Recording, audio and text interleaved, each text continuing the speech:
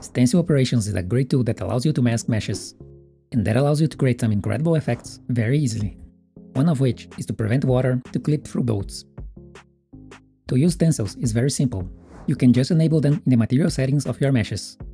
And they have three simple operations that are used to mask objects. They work by using the stencil buffer, that you can think of as a black and white image over the screen, similar to the depth buffer. It has 255 values of black and white, which is the reference value here. They start all black, and you can tell meshes to write to them where they are, if it passes a test. This here will paint the area where the mesh is with the value 1, always.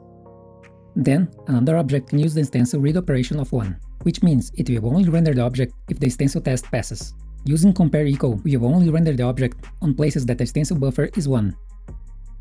And not equal will do the opposite. The concept is very simple, but the rendering order is very important here. You can also get more complicated by only drawing to the stencil where the object is not visible, or writing and reading based on previous operations, to get some very cool effects, like this stencil light. The boat effect we are going to create uses the stencil to make sure the water is not inside the boat while it bobs around. And we are going to do that by cutting a hole in the water where the boat is. To begin, let's check out our boat model. It has two materials. The outside part of the wood and the internal parts of the boat. The outside is good as it is, but we'll be changing the inside material. Enable the custom stencil write operation of 1. And that's it. Now the stencil buffer will write 1 over that material.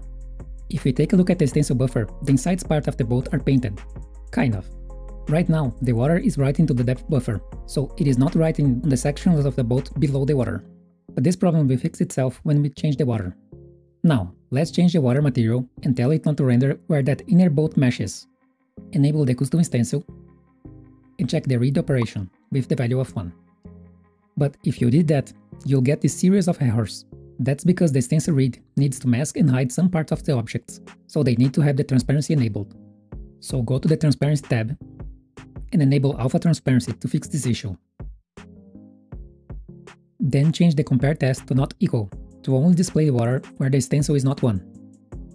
And because the object is transparent, it won't write to the depth buffer, so our previous problem is fixed. Now, the order of operations is important. You need to make sure the material that reads the stencil is only rendered after the stencil is already changed. If one object is opaque and the other is transparent like this, there is no problem, as transparent objects are always rendered later. But to ensure that is the case, let's set the rendering priority of the water to 1 meaning it will only render after the priority 0 objects are drawn. And there it is. If you make the boat transparent, we can see that the water clips in the exact position it needs to. And to do it with shaders is also very simple. So let's add back this water shader and see how it's done. To use stencils in shader, you only need to add a single line at the top, stencil mode. In this case, we are going to read 1 when it is not equal, with the compare not equal, the same as the material options. And that's it a simple stencil effect for water objects. If you'd like to support me, you can get access to the project files and other stencil experiments on Patreon. Now you can start learning stencil tricks for awesome effects. Thanks for watching, and until next time.